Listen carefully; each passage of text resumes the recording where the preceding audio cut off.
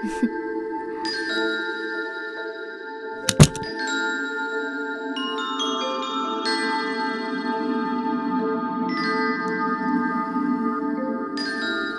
இன்னைக்கு தோசையா?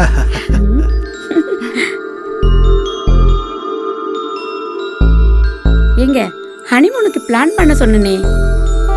அதான் நானும் யோசிச்சுட்டு இருக்கேன் ஏதாவது ஐலாண்ட் ட்ரை பண்ணுங்களேன் ரொமான்டிக்கா இருக்கும். மால்டீவ்ஸ் ஏதோ ஒண்ணு. ஆனா எதுவா இருந்தாலும் சீக்கிரமா பண்ணிடுங்க. மா நான் கிளம்புறேன். டேய் என்னடா ஆபீஸ் கிளம்பிட்ட? நானும் உங்க அப்பாவும் உன்னோட ஹனிமூன் பத்தி பேசிட்டு இருக்கோம். மா இப்போதைக்கு எதுவும் பிளான் பண்ண வேணாம். எனக்கு நிறைய வேலை இருக்கு. பாய் என்னங்க இவன்? டேய் சாப்பிட்டாது போடா.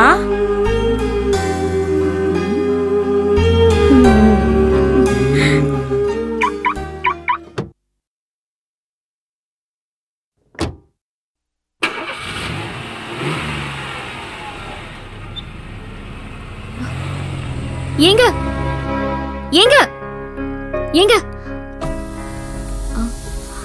ஏங்க மதியம் சாப்பிட வருவீங்களா? இல்ல நான் ஆபீஸ் கேட்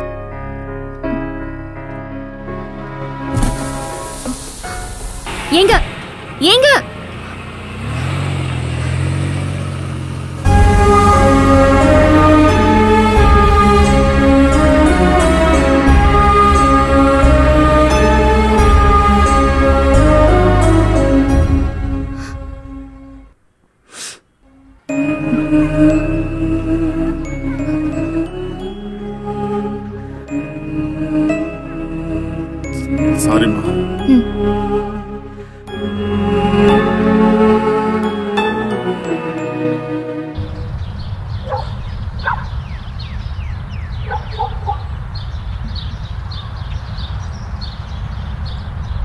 என்ன மாப்பிள்ள கல்யாணம் முடிச்சு வீட்டில் பால் குடிச்சிட்டு பார்த்தா இங்கே உட்காந்து டீ குடிச்சிட்டு இருக்கா? மாமா. புரியுது மாப்பிள்ள கல்யாணம் முடிஞ்சதும் இதெல்லாம் மாறுன்னு நினச்சேன். எப்படி மாமா மாறும்? ஆ? எப்படி மாறும்? நாலு வருஷம். தேஜு கூட என் வாழ்க்கையை எப்படிலாம் பிளான் பண்ணி வச்சிருந்தேன் தெரியுமா? எனக்கு மட்டும் ஏன் மாமா இப்படிலாம் நடக்குது? ஒன்னு இல்ல ரெண்டு இல்ல மூணு லாரி குடவுனுக்குள்ள லோட் இருக்கிறதுக்கு முன்னாடி ஃபயர் வாழ்க்கையில என்னாலே சொந்த கால நிக்க முடியும் எங்க அப்பா கிட்ட ப்ரூவ் பண்ணணும்னு நினைச்சா? இந்த சுச்சுவேஷனை கரெக்டா யூஸ் பண்ணி அந்த பொண்ணை கல்யாணம் பண்ண வச்சுட்டாரு. நாராயணமூர்த்தி. அவரோட அப்பா. ஏன் வாயிலே அந்த பொண்ணை பிடிக்கும்னு சொல்ல வச்சு என்னே கல்யாணத்தை வச்சுட்டாரு. தினம் தினம் உள்ளுக்குள்ள சாகுற மாமா. தேஜ் யூகேல இருந்து வந்தா? நான் எந்த மூஞ்சி வச்சு மாமாவை பாக்குறது மாப்பிள்ள இங்கே நடக்கிறது எதுவுமே நாம் முடிவு பண்ணுறதில்ல எல்லாம் ஏற்கனவே முடிவு பண்ணதான் நீ மட்டும் இல்லை மாப்பிள்ள இங்கே முக்கால்வாசி பேர் நினச்ச வாழ்க்கையை தொலைச்சிட்டு கிடைச்ச வாழ்க்கை தான் வாழ்ந்துட்டு இருக்கானுங்க. எல்லாம் ஒரு நாள் மாறும் மாப்பிள்ள நீ போட்டு குழப்பிக்காத. மாப்பிள்ள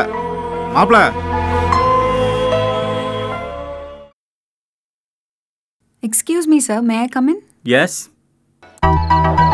hey Nandini. Hi. வா வா வா. என்ன சார் ரொம்ப பிஸியா இருக்கீங்க போல? சே சே அப்படிலாம் ஒன்றும் இல்லை. ஆமா நீ என்ன திடீர்னு சொல்லாம கொள்ளாம ஆஃபீஸ்க்கெல்லாம் உன் மேரேஜ்க்கு வர முடியலல்ல அதான் உன்னை இங்க வந்து கங்க்ராச்சுலேட் பண்ணலான்னு. ஓ. ஆமா நீ என்ன கல்யாணத்துக்கு நெக்ஸ்ட் டேவா ஆஃபீஸ் வந்திருக்க? உங்க மனைவி எதுவும் சொல்லலையா? அது அப்புறம் எப்படி போயிட்டு இருக்கு house your new work space all குட்ரா actually அது சம்மந்தமா தான் உங்ககிட்ட பேசலான்னு. அப்படியா? என்ன? ஆக்சுவலா ஒரு நிமிஷம். ஹலோ யாரு? ஹலோ நான் காயத்ரி பேசுறேங்க. ஆ இல்ல நானா ஃபோன் பண்ணலங்க. அத்தை தான் உங்களுக்கு மதியத்துக்கு என்ன சாப்பாடு அமுச்சு வைக்கணும்னு கேட்க சொன்னாங்க. அதான் நான் இன்னொரு வாட்டி இந்த நம்பர்ல இருந்து எனக்கு ஃபோன் வந்தேன்னு வைய. நான் என்ன பண்ண நினைக்க தெரியாது. போன வை. ஹே யாரா ஏன் இப்படி டென்ஷன் ஆகுற? சம் யூஸ்லெஸ் கால் அதனோட இம்பார்ட்டன்ட் கிடையாது. நீ சொல்லு. ஆக்சுவலா என்னோட ப்ராஜெக்ட்ல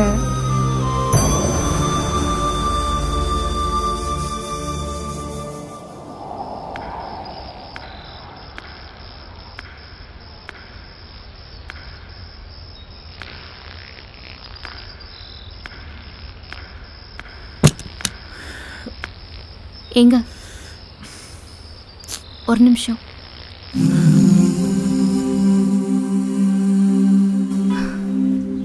எனக்கு தெரியும். உங்களுக்கு என்ன பிடிக்கல? ஏன் எதுக்குன்னு காரணம்லாம் கேட்க மாட்டேன். என் தலையெழுத்து எப்படியோ அப்படியே நடக்கட்டும்.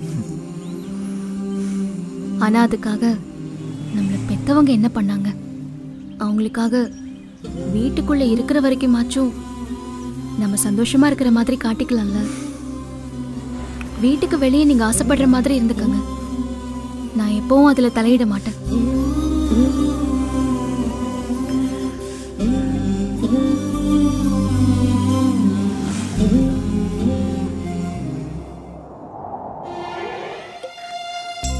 என்னம்மா இன்னைக்கு சப்பாத்தியா?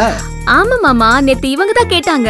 சப்பாத்தி சாப்பிட்டு ரொம்ப நாள் ஆச்சுன்னு. அதான் இவங்களுக்காக ஸ்பெஷல்லா பண்ணது.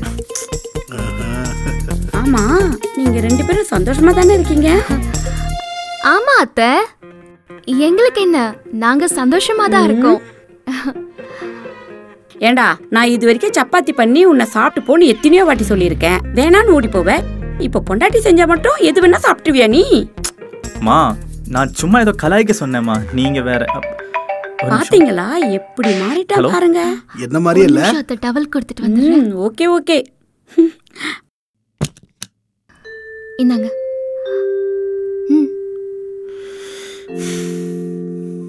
ஏதோ பெரிய அறிவாளி மாதிரி பண்ணுறேன்னு சொல்லி இந்த ஓவர் ஆக்ஷன் பண்ணி நீயே மாட்டிக்காத சரியா? அண்ட் ஒன் மோர் திங் இந்த தொட்டு பேசுகிற வேலைலாம் வச்சுக்காத. புரியுதா? அப்படி ஏதாவது இன்ட்ரெஸ்ட் இருந்தால் சொல்லு. நானே ஒரு ஆப்லிங் உனக்கு ஷேர் பண்ணுறேன் அதில் நிறைய ஆம்பளைங்க கிடப்பானுங்க.